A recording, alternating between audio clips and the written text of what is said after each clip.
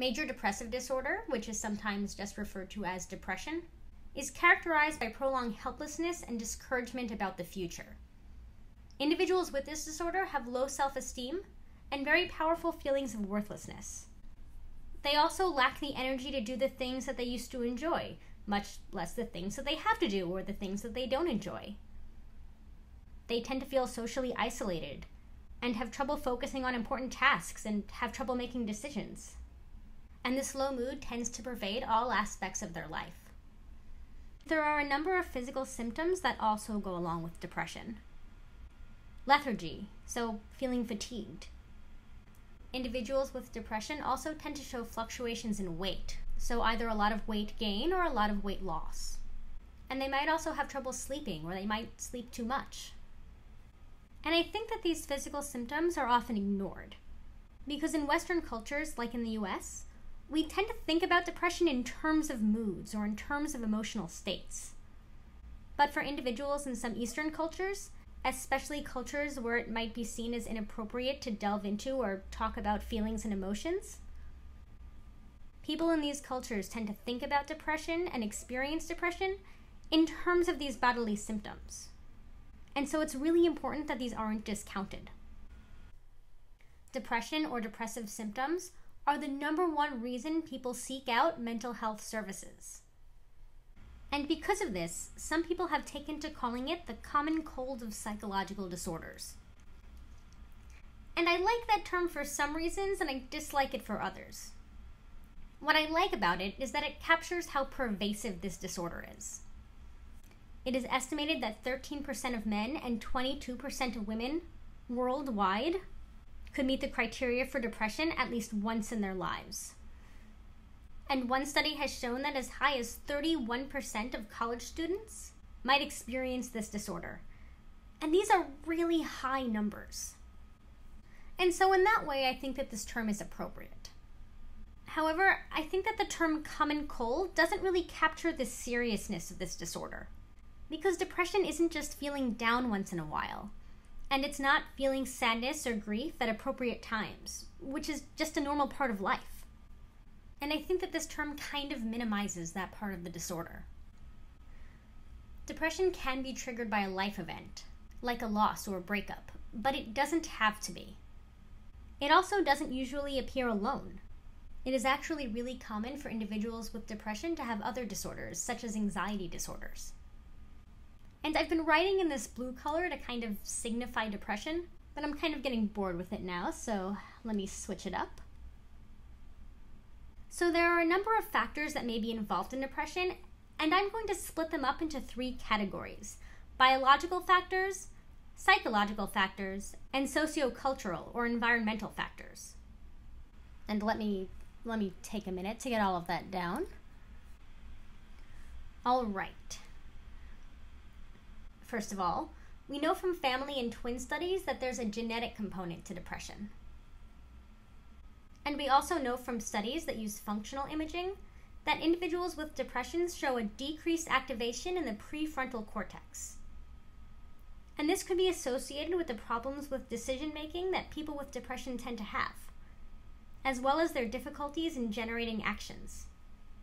Researchers have also found lower levels of activity in the reward circuitry in the brain and this could help to explain why individuals with depression might not find enjoyment in the actions that they once found pleasurable.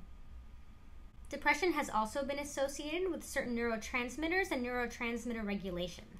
And I'll abbreviate that here by writing NT for neurotransmitter. Research has suggested that individuals with depression might have fewer receptors for serotonin and norepinephrine. And I think that all of this research is amazing. I think that it's really important. And it's also really compelling in a way that research findings that include neuroscience typically are. But with that said, I really want to caution you against oversimplifying these biological factors. To give an example about why I'm saying this, I want to talk about the relationship between a certain serotonin transporter gene and depression. And this gene is known as 5-HTT-LPR, and I'll write that down. And a lot of findings have shown that this gene is involved in depression. But in actuality, it is only associated with depression if the individual with the gene is in a stressful environment. But the story doesn't actually end there, it's actually even more complicated. Because it turns out that if an individual with this genetic feature is placed in a warm and positive environment, they actually show a decreased risk for depression. And this is something that we don't totally understand yet. We're still trying to figure out why this might be the case. But importantly, I think that this really shows us how complicated biological factors can be. Let's move on to some psychological factors that might influence depression. One theory is based on the concept of learned helplessness. And this theory supposes that if an individual is exposed to aversive situations over and over again, without any power to change or control them, they might begin to feel powerless in a way that might lead to depression. So, if someone is exposed to prolonged stress due to family life or bullying or some other cause that they don't have control over, their helplessness could spiral out of control. And they might stop trying to change their situation because they perceive it to be completely helpless. And that's a behavioral theory or way of thinking about depression, but there are cognitive theories about it as well.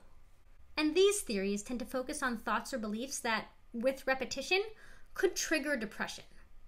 And while it's true that everyone has negative or self destructive thoughts every once in a while, generally we are able to step back from them, and we're able to realize that what we're thinking isn't completely logical. But sometimes people can get trapped in these thought patterns and they might put too much emphasis on negative thoughts and actions and experiences. And when they ruminate on these things, when they turn them over and over in their minds, it's possible that these cognitive distortions might lead to depression. Another cognitive theory about depression focuses on the concept of attribution or explanatory style. Now, as we go about our daily lives, we naturally try to understand and explain the events that go on around us. And when we do this, we can either attribute the things we see to internal or external causes.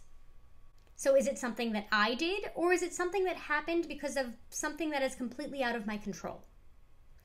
Did I get a bad grade on a test because I didn't study? That would be an internal cause. Or did I get a bad grade because the teacher made a really unfair test, which would be an external cause?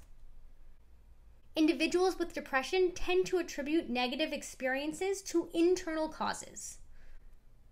So maybe they'll think that a friend didn't call or text back because they are unlikable or unlovable, and not because they were at the movies with their family and maybe their phone was off. In addition to this, they tend to see negative experiences as being stable, so they think that they'll continue to happen in the future. And they also tend to think that they're global, so they might assume that one friend not calling them back somehow signifies that none of their friends like them. And together, these things, these internal attributions, these stable attributions, and global attributions, these things form a pessimistic attributional style. And it might make certain individuals particularly vulnerable to depression. And there are many other psychological theories about depression, things that have to do with coping style or self esteem but it can actually be hard to know whether these things cause depression or if they are the result of it. So, does a pessimistic attributional style lead to depression, or do people with depression tend to have a pessimistic attributional style? It isn't always clear. Environmental and sociocultural factors can also have a strong influence on depression. Having a friend or partner or roommate with depression can actually increase the likelihood that individuals around them will also develop depression. And although we don't know exactly why that is, some researchers suggest that it might have to do with co rumination, where friends talk about problems and negative events. But instead of discussing how to solve them, they focus on the negative emotions and dwell on future problems and occurrences. On some level, this is kind of normal it is perfectly normal for close friends to take on some of the negative feelings of the other, like being sad when they lose someone who was close to them, or being angry if they were dumped by their partner. This is just natural empathy. But the same empathy that allows us to comfort our friends when they're in distress might also be the reason that depression seems to spread. We also know that individuals with a low socioeconomic status, especially those living in poverty, are more likely to develop depression, as are those who are struggling to keep a job or have just lost a job. And there are other environmental factors as well social isolation, child abuse, even prejudice have all been implicated in causing depression. And let's think about this in terms of prejudice. If someone grows up in a household that has negative feelings about homosexuality, and if they grow up and begin to have same sex attractions, they've probably internalized the prejudice after years of hearing it, and this could lead to depression.